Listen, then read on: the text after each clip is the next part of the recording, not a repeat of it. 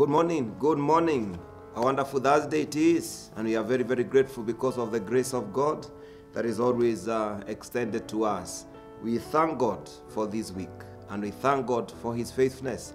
We thank God for His love. We thank God for the new mercies that we receive every day of our lives. And for that reason, we want to thank God even for the opportunity, even to share God's words together. And I want to ask that as you tune in and even as you catch up with us, even to pick the word of God and even to find and have fellowship, that the Lord will continue to truly bless us and even bless this day that it turn out to be a blessing to us. Let us pray as we receive the word of God and even this day. Father, we thank you so much for the gift of this day.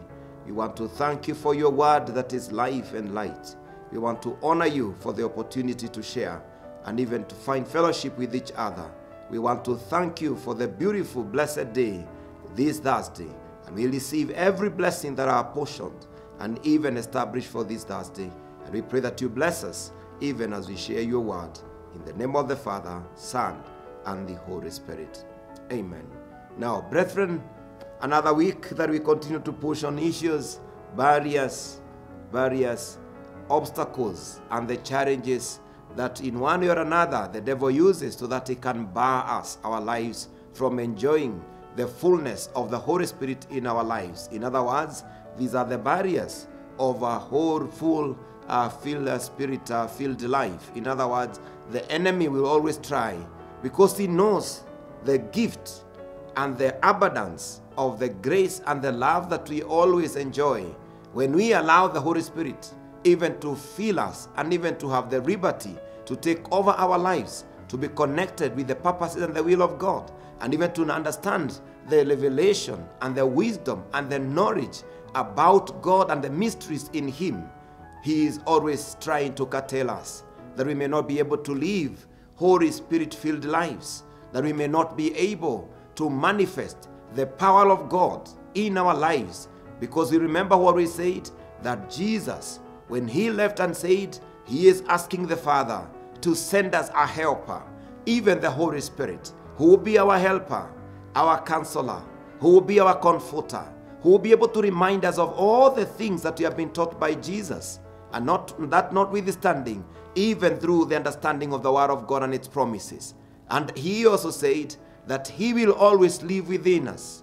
He will not be among us alone or along us, but he will live in us. And therefore, that is the advantage that we have with God the Holy Spirit. But you see, the enemy knows that even when we understand the essence of the truth of the, of the Spirit of God and God the Holy Spirit, who is living and lives among us, that he may not be able to allow us to be able to walk with him. Remember, he is God, the Holy Spirit. Holy Spirit. And therefore, he is holy, and God is holy.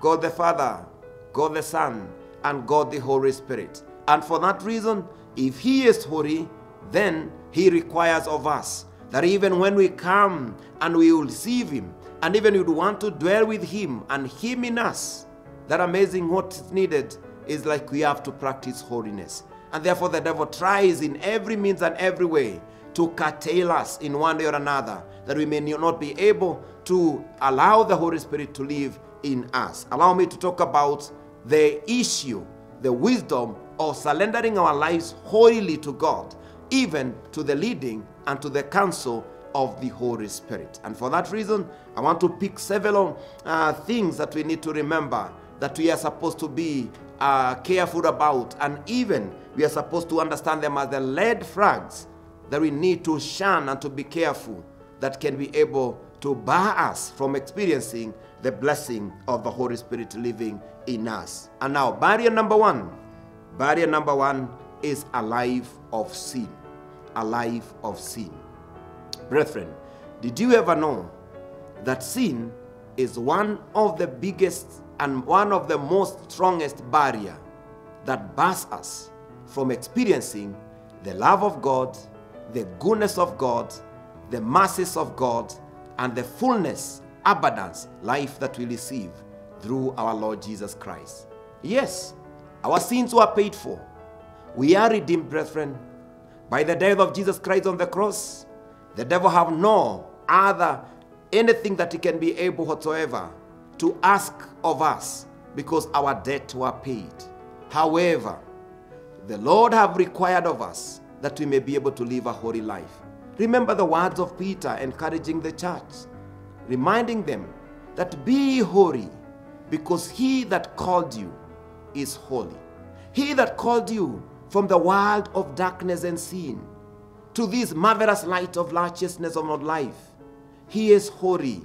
And therefore, if we desire to walk with him, to serve with him, to enjoy his fellowship, to enjoy his presence in our lives, then we must, by God's grace, keep ourselves from every manner of sin.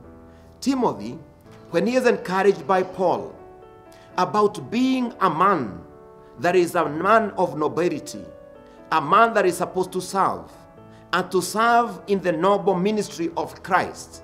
Remember when he was told in the book of uh, 2 Timothy and chapter 2 and verses 20 that in a big house there are very many vessels. There are vessels of gold, vessels of silver, vessels of wood, and even vessels of clay. And he was told, for you to be used in a noble way and to, be, and to become a noble vessel of specific and special use, then you must cleanse yourself from the letter. When you talk about the letter, from the wickedness and the things that he talked before, from evil, from malice, from filthiness, from any defilement, from any manner of ill and evil. In fact, remembering the words and the things that have been mentioned in the book of Galatians, chapter 5 and verses uh, 19, all the way, when we are reminded about the work of the flesh. That if we are able to come out and be separated from every manner of evil, from any manner of unrighteousness, from any manner of wickedness, from any manner of sin, then will we be set apart and purified and become noble vessels for God.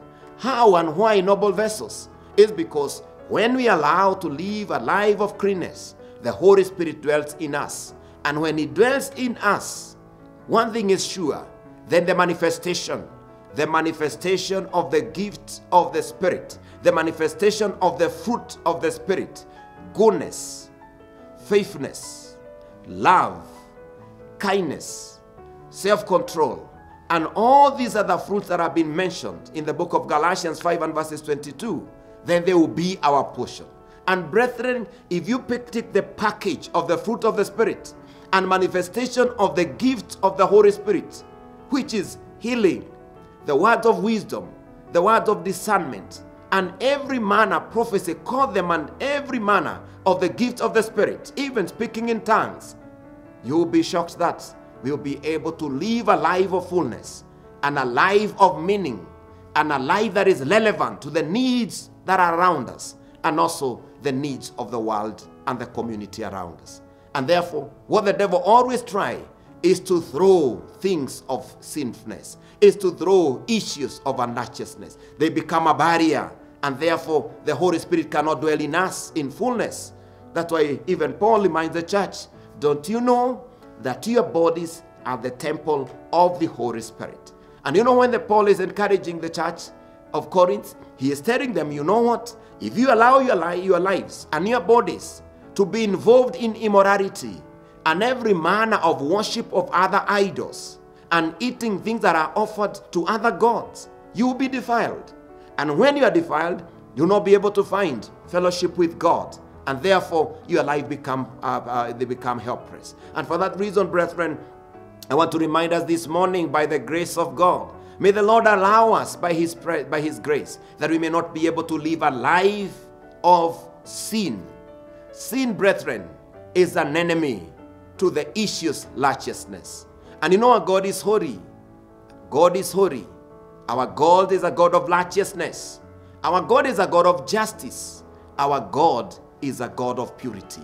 And for that reason, for us to allow the manifestation of the Holy Spirit, we must live a holy life. Now, allow me just to say very fast that it is important by God's grace to be able to know when we shun evil, when we shun sin, then we are able to enjoy the righteousness of God. And this is what the Bible says that righteousness exalted a nation.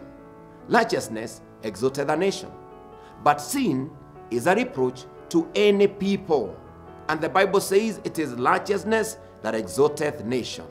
Brethren, even at this particular time, I want to encourage is there any sin by any means that the devil is using to clog on your life? Is there any sin that you have been unable to deal with?